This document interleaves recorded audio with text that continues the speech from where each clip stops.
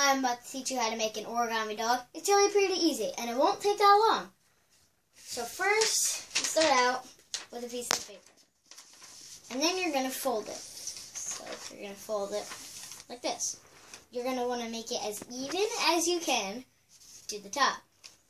And then you're going to have this little excess strip right here. So you're going to grab a, a uh, pair of scissors and cut that part off.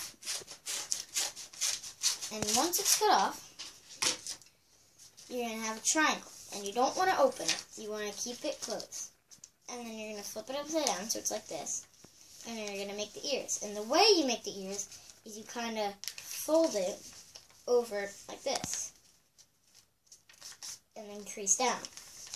And the closer you do it to the center of the top part of the paper, the bigger the ears are going to make. So if you do it like this, the ears are going to be big. If you do it like this, they're going to be really small.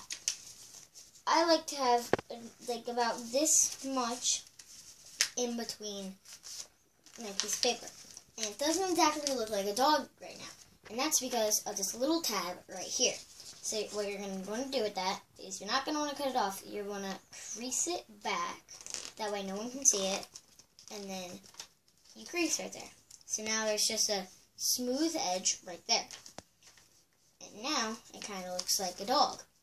Except it's not customized and it doesn't have a face yet. And I customized mine like this. I put googly eyes on mine, I put a nose, and I put little brown spots and a red collar. You don't have to design it like mine, but this is just the way I designed mine.